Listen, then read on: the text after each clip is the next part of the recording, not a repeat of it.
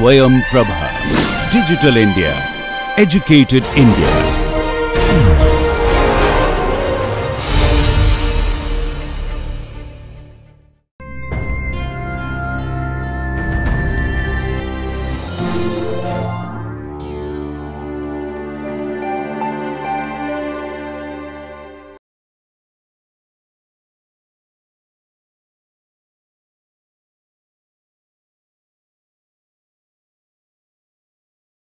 So, we will start with the basic introduction for tissue engineering today.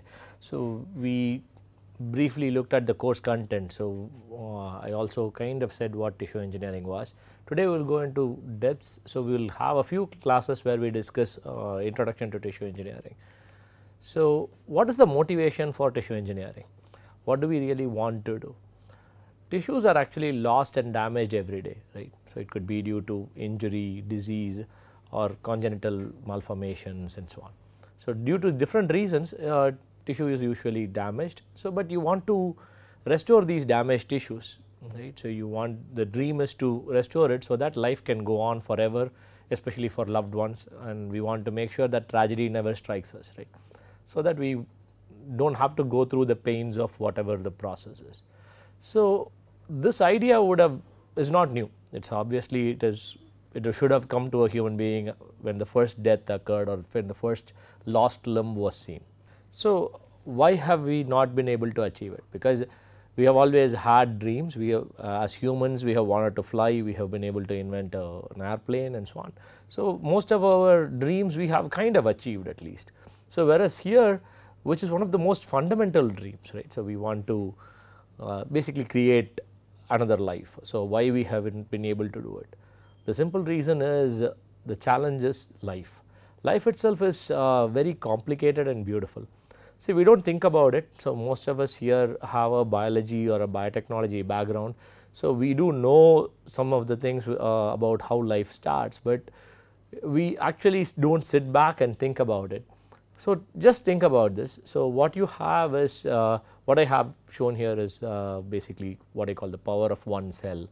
All organisms uh, whether it is a mosquito or a human being start from one cell right. So, this is very unique the cell the single cell basically divides and starts differentiating to form different tissues. So, it starts migrating and uh, it has to differentiate to form various types of tissues. It could be a skin tissue or a bone tissue or a, a cartilage or a heart tissue and so on. So, all these uh, migrations and uh, differentiation have to happen over a period of time. And finally, this eventually develops into the right organism. So, a human being or an elephant or a mosquito all of these develop from this one cell within a very short period of time. So, if, uh, if you were to take humans it takes only 282 days for a cell to become a fully grown baby and that is a very short period of time you know, considering our lifespans and uh, the lifespan of the earth itself it is actually a very very small period and within that time there is such regulated control which is phenomenal. Almost always we get proper development right and that requires so much control over how the cells migrate, how the cells actually divide, how the cells differentiate and so on. For us to first understand what is happening itself has been a challenge. We still do not fully understand what is happening and why it is actually happening the way it is happening. So, for us to first understand and then to actually recreate it is the challenge of tissue engineering.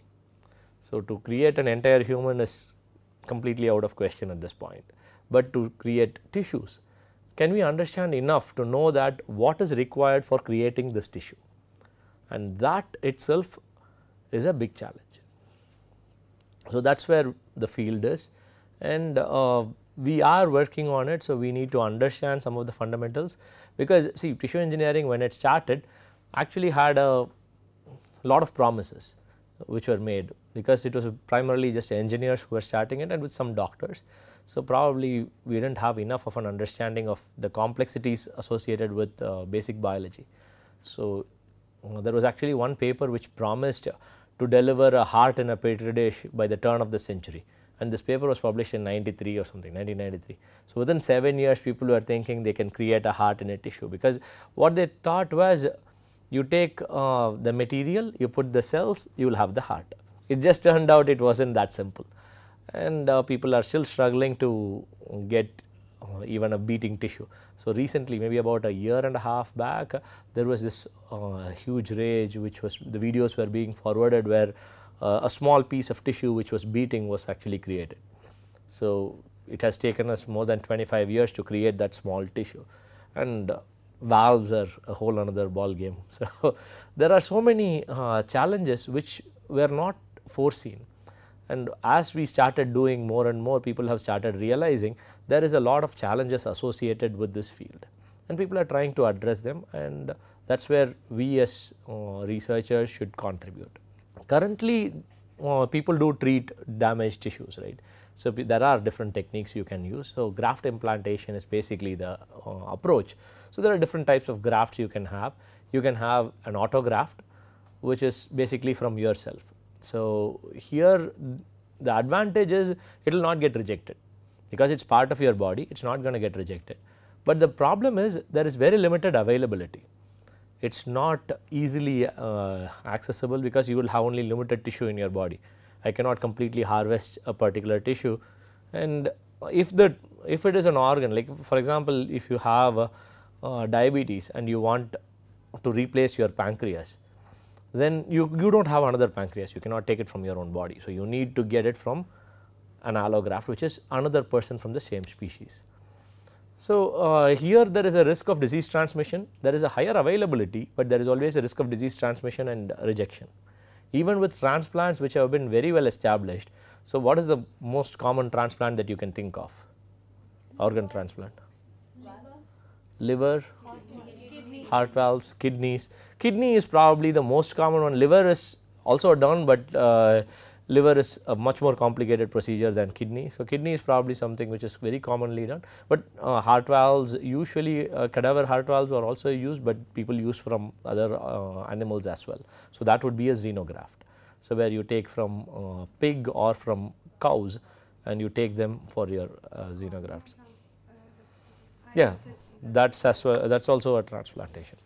So, uh, if you are talking about an organ transplant like kidney, which has been well established. It has been done for almost half a century now. Even for that people still have to take uh, immunosuppressive drugs for their life. That puts them at a risk of getting infected at any point. So, it is a serious problem to even have one of the most well established surgeries. So, that is a problem with allograft and xenograft obviously it is going to risks are going to be much higher compared to allograft because you are now talking about a different animal altogether. So, your chances of disease transmission and uh, immunological rejection are significantly higher. So, the last option is uh, using synthetic materials. People use polymers, metals and so many other types of biomaterials so that it can actually be used for uh, implantation. So, this also has uh, inflammatory responses and there can be a vascular barrier. So, cells may not infiltrate for example, if you are using a hip and joint replacement which is made of metals, cells are not going to uh, infiltrate. It is not actually a biologically active tissue you have placed. What you have is just a mechanically supportive device which has been placed. So, that causes some discomfort, there can always be complications because of that. In some cases like where you have plates and screws for broken bones, you might have to go back and remove them because there might be some immunological issues. So, these kinds of problems exist with the graft uh, implantation, but that is not the only reason you want to do tissue engineering because tissue engineered products can also have similar problems right because you are also going to use synthetic materials or materials which are not common in your body and you are probably going to use cells which are not your own. So, tissue engineered products could also have uh, the same kinds of problems then why do tissue engineering? Maybe it is the best chance for us to mimic the uh, living cell condition in the body. Okay. So, uh, probably you can get a closer uh, tissue which is closest, but wouldn't an allograft uh, be the closest? Like obviously an autograft would be the best, but autografts you might not be available. So, if I can get it from another human being, that is God's creation, right?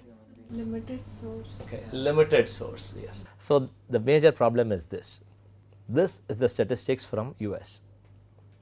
You can see how the trends have been when it comes to the number of transplants, number of donors and the number of people in the waiting list. The gray curve you see is the number of people on the waiting list and the orange one is the transplants and blue is the donors. So, obviously the transplants are higher than the donors because a donor can actually donate more than one organ, right. So, this is the trend and the gap seems widening right from 91 to 2017 the gap is much wider and uh, the problem is this is for a developed nation like US where you actually have 54 percent of the people registered for organ donation. So, we will start with history. So, this is something which you would see in any tissue engineering book not exactly these images. What you would see is an image of chimera. So, this is to say that people have been dreaming of uh, enhancing organs and enhancing tissues and so on. Okay. So, uh, this is basically what uh, people start with in a tissue engineering book. So, I always felt okay we should uh, why start with the Greek mythology, why not our own mythologies, right. So, this is where we all, uh, this is something we have all seen and you would, I would also go to the other mythologies and show how similar our imaginations have been. But the cool thing is people have actually dreamt of this, people have actually thought uh, of xenografts, right. Uh, Lord Ganesha is a xenograft technically, right. So, so why I said that disclaimer was again I am not saying a xenograft was actually performed. It is something which people wanted, people have been thinking about, right. This is basically what people were trying to do. So, the images I have are uh, Lord Ganesha and Lord uh, Narasimha. So, Narasimha was just an avatar who came down with the, head of a lion and so on. Uh, Ganesha was proper xenograft where the head was chopped off and uh, you placed an elephant's head.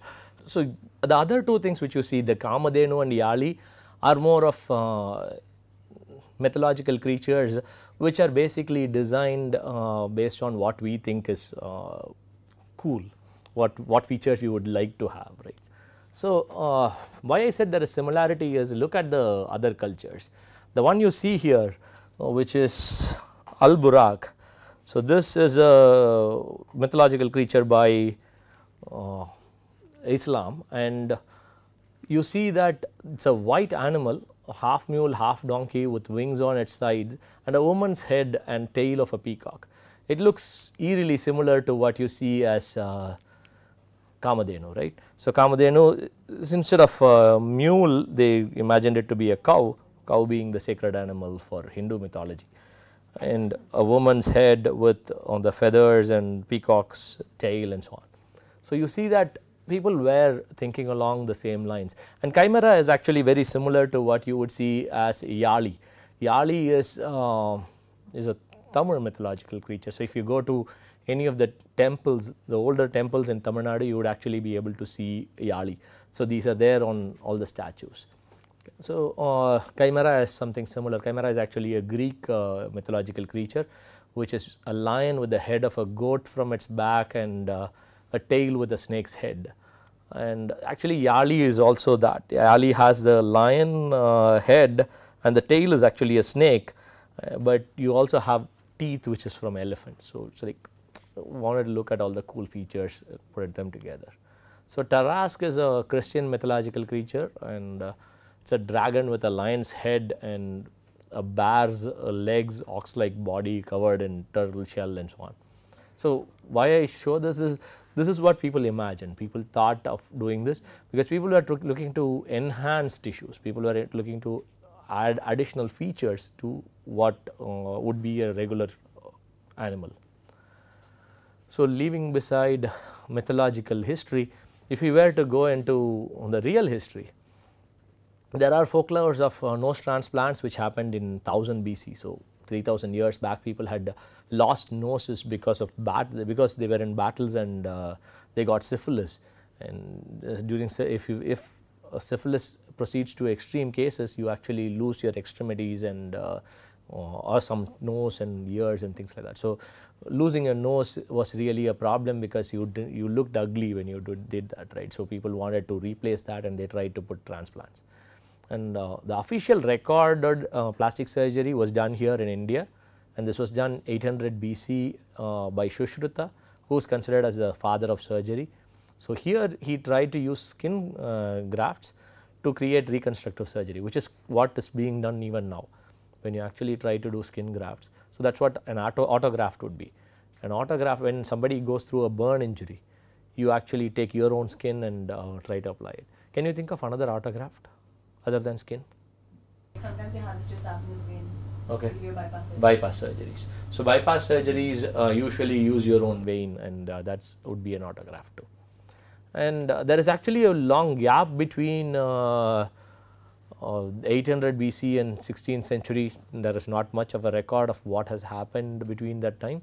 But in the 16th century people tried to build uh, nose replacements using the forearm flaps and uh, transplantation of teeth, cornea, skin were all performed in the 1700s and 1800s.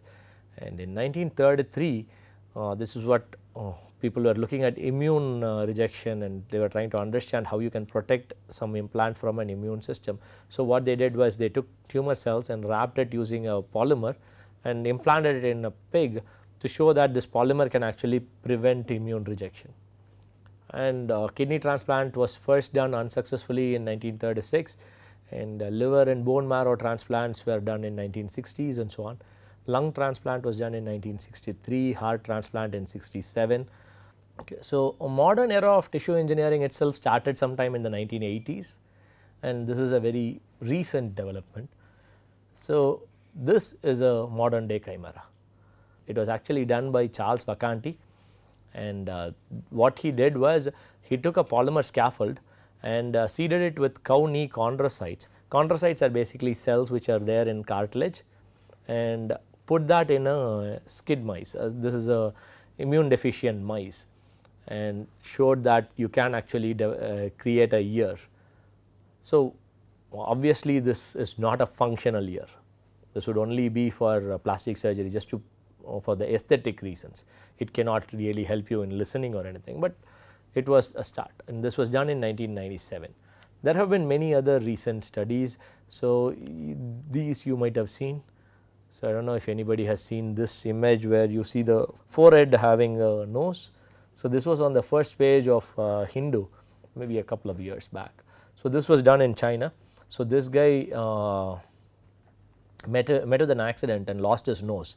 So, the Chinese uh, doctors decided to put a polymer scaffold on his uh, forehead and let the cells seed themselves and uh, create a new nose and this was eventually transplanted to his nose and he he is I am hoping he is healthy.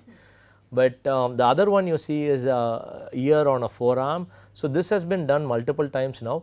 So, recently it was done for uh, a US army uh, officer some I don't know her, I don't remember her name. So, but anyways, so she uh, she had lost her uh, ear in combat and they grew a ear on her forearm and uh, replaced it. Again, it's only for aesthetic reasons. I don't think it provides the functionality, the, uh, but it it has been reasonably successful. And there was actually a, an article which basically said forearm is the best place to grow a ear or something like that. So, uh, people have been quite successful in doing that. So, these are the more recent studies probably happened within the last 5 years or so. So, what is tissue engineering? So, this is the definition of tissue engineering. So, the term itself was defined by the paper uh, in a paper published in uh, Science 1993. So, this was written by Robert Langer and Joseph Vacanti. Joseph Vacanti is different from the Charles Vacanti, they were not related. So, Joseph Vacanti is a medical doctor and uh, Robert Langer is a chemical engineer. So, these two people came together to write a paper. So, this was a review article which was published in 1993. So, so they defined tissue engineering as an interdisciplinary field that applies the principles of engineering and life sciences towards the development of biological tissues that restore, maintain or improve tissue function or a whole organ. Okay. So, this is what the definition itself is. So, what you see here is basically an image from Wikipedia. So, there is a damaged tissue, you take some cells out of the person with the damaged tissue, you then culture the cells, you get enough of the cells, you put them along with the scaffold and give them the signals. So, with this you now should have a fully functional tissue which should replace the damaged tissue and the person is okay after that. So, that is what this image represents and this is exactly what you try to do.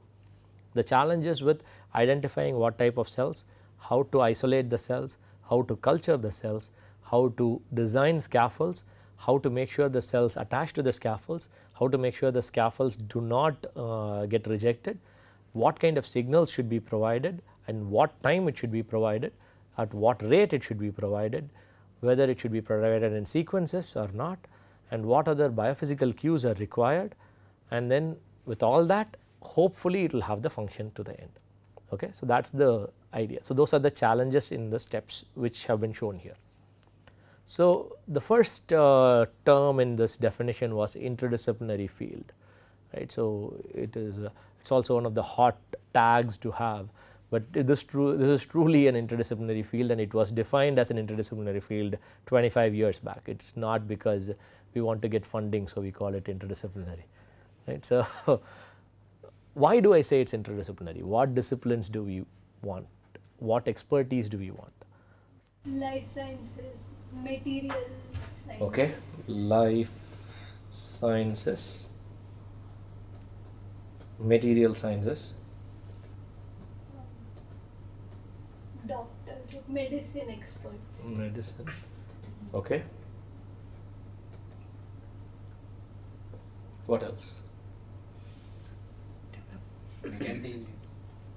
Okay, mechanical engineers. You also have to justify why you are saying all these, but we will get to that. Chemist, chemistry. Chemistry, okay.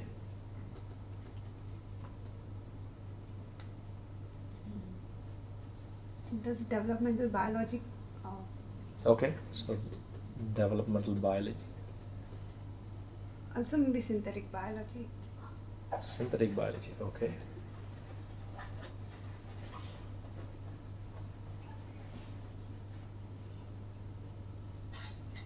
Anything else that you can think of?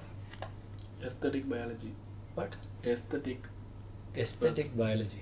like aesthetic experts Okay, so aesthetics. So are you from engineering design? someone who knows it, like from the arts say yes for ethics, Ethics. From from what side? the arts, humanities. Oh, humanities side. Okay. Humanities is different from arts. We did that degree.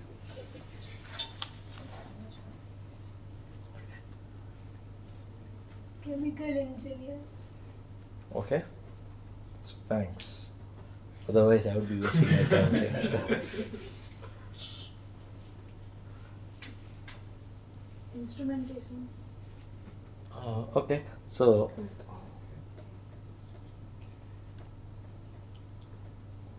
okay, let's first justify why we have all this. So, life sciences.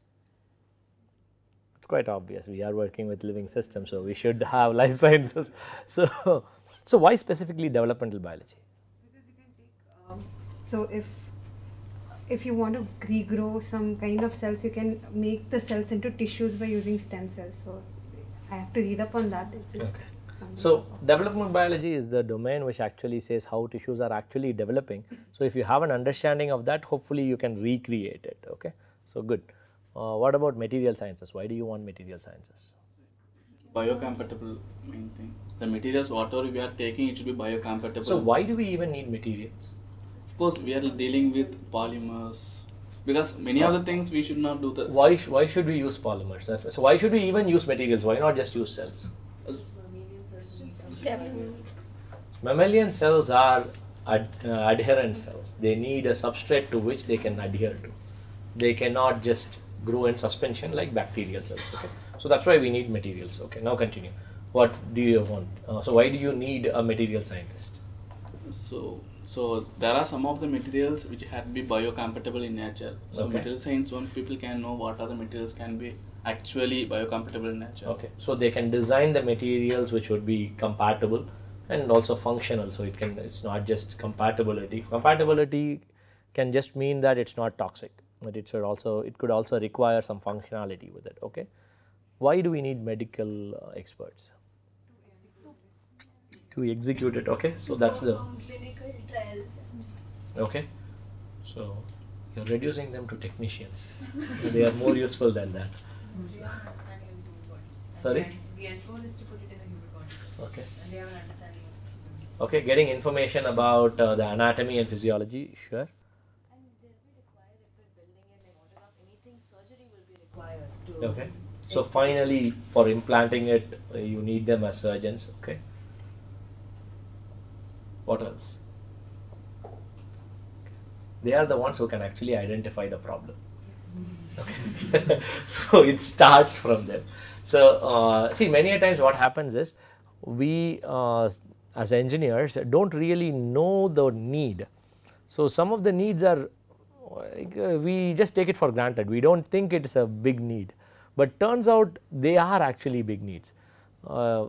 So see, recently I was talking to a doctor who was saying, uh, so he's, a dentist actually. So but um, he's a, he was saying there is a serious problem uh, in dental uh, issues where people undergo cancer, bone cancer, and you need to have uh, some small diameter uh, vascular grafts which have to be placed. And engineering those have been a big challenge, and he was looking to understand what would be the issues there. So, I would not have thought of vascular grafts as an application for uh, dental uh, procedures and especially in cancer patients. I would have thought of it for an application in cardiovascular procedures.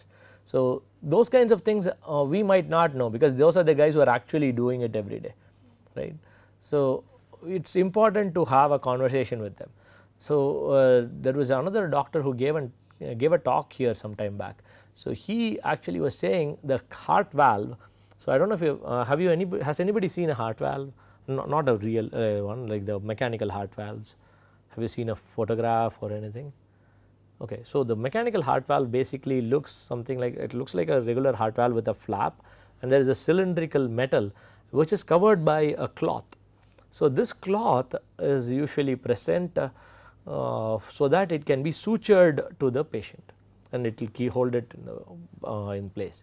So, the metal which comes in contact with the blood all that uh, the flaps which come in contact with the blood all that are quite biocompatible and people try to coat it with uh, different materials to ensure that it is compatible.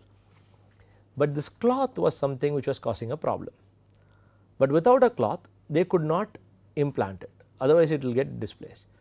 But all they had to do was finally these guys were sitting together and with an engineer with a group of engineers and they figured okay just remove the cloth and put holes in the cylinder and that holds it in place and it removes a major limitation which has been causing clogs and uh, clots in the implant. So, it is a very simple solution which was come uh, which was proposed by an engineer, but nobody would have guessed that there was a problem there unless a doctor came to them and said that hey this is a problem. So, doctors are very useful in identifying the problem. Okay. okay. So, why mechanical engineers? For, uh, if you are designing a blood vessel and the flow dynamics of the blood and how it would impact the like, you have to design a model for it so that we can uh, probably test it before we implant it. Or if you are uh, modeling anything for bones, so uh, will the material which we are using be able to uh, take on the stress which would be applied on it once implanted, or any body motion that can it can the implant actually be will be able to perform all the different ways in which we can move. So, the mechanical properties and the mechanical stresses which our tissues go through have to be understood and uh, you need some expertise in that and there is also mechanical signals which can actually regulate how the cells migrate and cells differentiate. So, that also needs to be looked at. So, there are different aspects where a mechanical engineer could contribute. See we are all standing upright right? It is actually the worst thing to do. It's it's not good for your knees it's not good for your joints. You are putting all your body weight on your ankles which are probably crying for you to sit down. Uh, you are much better off when you walk in force because your stress is now your body weight is distributed much better. So, you are obviously going through something which is the stresses which you are going through are severe and this needs to be understood and this need, this might have to be emulated for making it into a viable tissue. Okay. So, mechanical engineers can help you there. So, chemistry, why chemistry? There, um, I don't know whether it's reality or not, but there, there are prosthetic, uh, prosthetics, uh, prosthetic arms and all which can uh, detect whatever if the person thinks in a particular way that is to flex the fingers, the fingers actually flex. So, uh, can chemis- chemical signals be used in that way? Chemis- I don't know exactly what is being used to get that. I know I have also seen those uh, videos and uh, like seen lectures where that is possible, but uh, I don't think it is chemistry. It is more with electrical engineering because it's not that it is being implanted in their body for them to actually have a chemical connection. It's mostly just put on top of an amputated arm or something. So I would think it's more about the electrical signals rather than the chemistry. Yeah. So I, I don't have enough understanding of the electrical engineering aspect to actually comment on that. But that brings to an aspect where electrical engineers can also be useful because, because you have uh, nerves and heart which have electrical signals, right, and muscles. So, all these things have electrical signals which are being processed. So, chemists can actually be very useful because uh, chemists are the ones who can actually tell you how to design materials. Okay, so, that is one major step where they can help you and they can help in how to actually functionalize materials. So, I, if you are going to know what you need to know what chemistry is required for actually functionalizing a material and so on. And uh, aesthetics yeah that is uh, quite obvious and humanities as you said for ethics it could be useful uh, to have a humanities person and but probably I would like to bring them in to the, at the end of the project so that uh, they do not kill the project on day 1.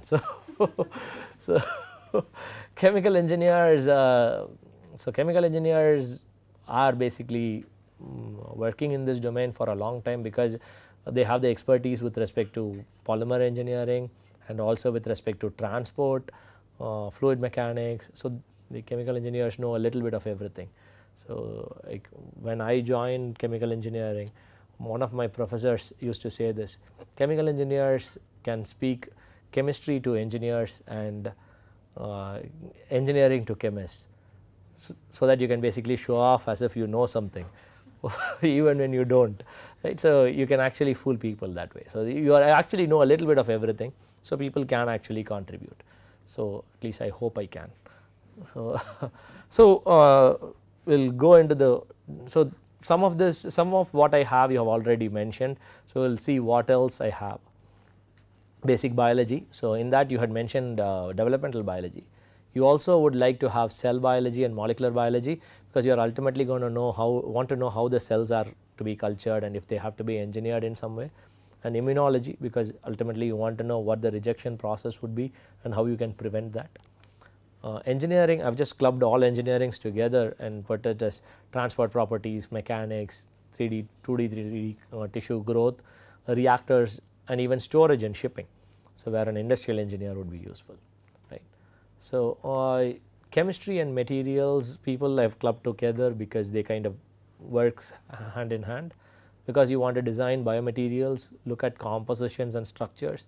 So, how the scaffolds can be biocompatibility, surface functionalization and characterizations. See anytime you prepare a material you have to characterize it thoroughly. To, uh, to fully characterize it you need to have enough expertise in chemistry. Without that you would not be able to understand what uh, you see for an FTIR or a uh, or an XPS and so on.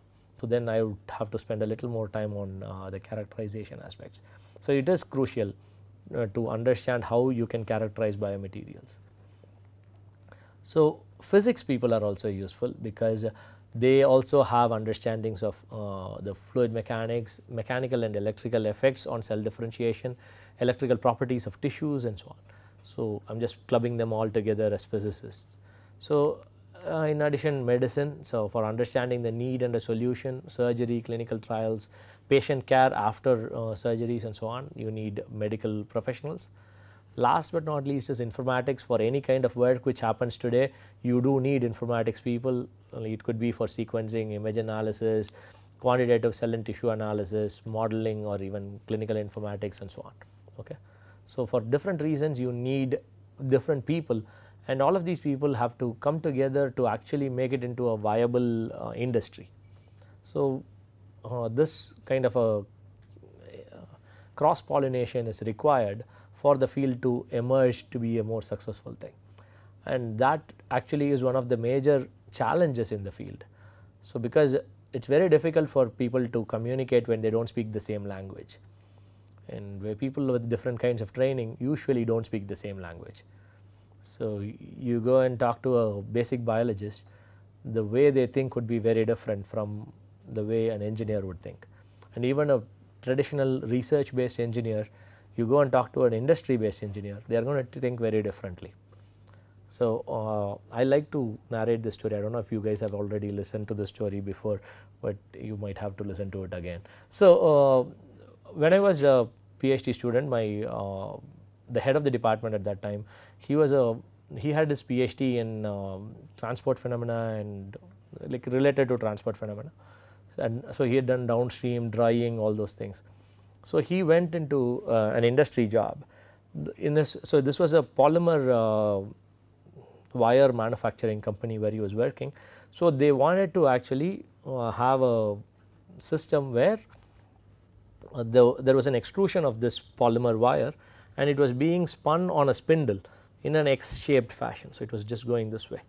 Okay. So, what happened was this was a wet uh, polymer wire which was coming out and as it was being spin, spun out uh, there was like some uh, difference in the thickness depending on which part of the spindle it was being assigned to right. So, there was like some places were thicker some places were thinner because there was a little bit of uh, stress because of this pulling.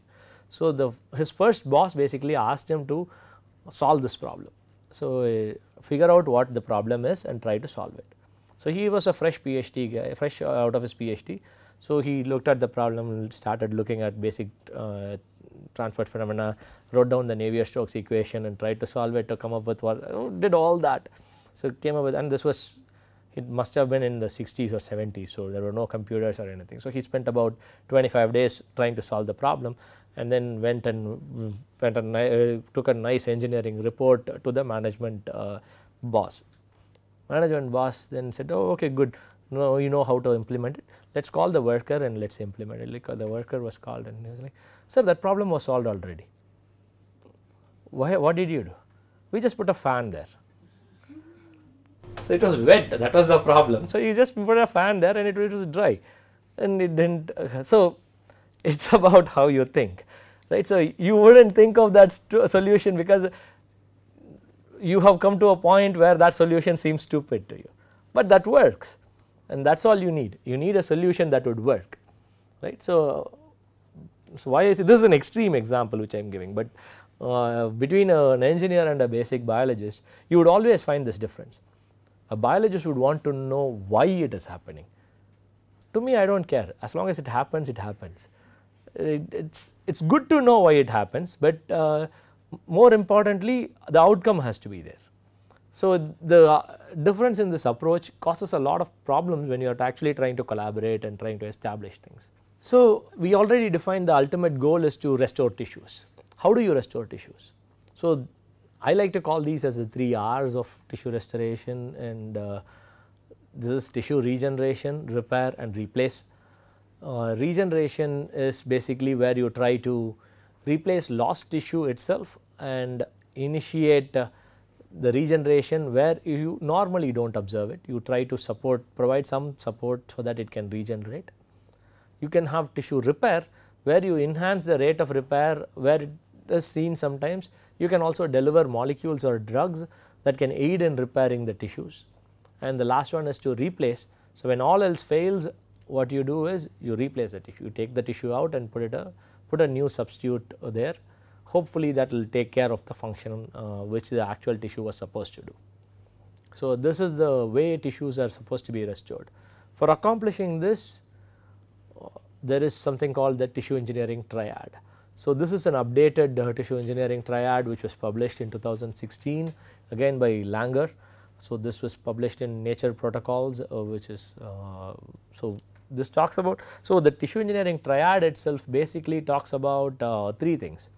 You have cells, materials and signals. So, those are the three things here and they have also put what are the new cool aspects which have actually come out. So, you have for the cells there are new cell sources and there are new technologies for engineering the cells. So, you have things like uh, CRISPR Cas which can actually be used for engineering the cells. You all recently you have the development of iPSCs. So, what are iPSCs? Induced pluripotent stem cells. So, induced pluripotent stem cells, what are they? These are We take differentiated cells and we reverse them back to make them pluripotent. So, uh, somatic cells are reversed to become pluripotent by using 4 transcription factors. So, that is what uh, an iPSC is. So, that those kinds of cells have uh, made sure that you can actually have personalized medicine now, right. So, I, all I would need is uh, some blood uh, tissues cells from the patient and I can make it into a pluripotent cell and then uh, differentiate it into the type of cell I want. So, that would give a personalized medicine. So, you also have uh, signals. Uh, so, now people have understood novel chemistries, people are looking at uh, different growth factors, people have a better understanding of the signaling molecules which can be used uh, people also now understand that uh, mechanical features and physical and electrical cues can actually help in cell differentiation. So, because of all these things we have a much better understanding of how to engineer materials for uh, providing the desired signals. The last but not least we also have very cool technologies for creating tissue architecture starting from self assembly to decellularized organs to 3D printing right. So, there are just too many technologies which have come up in the last 10 years which have uh, which are now giving a lot more promise towards the field of tissue engineering evolving into something which is fully successful. Thank you.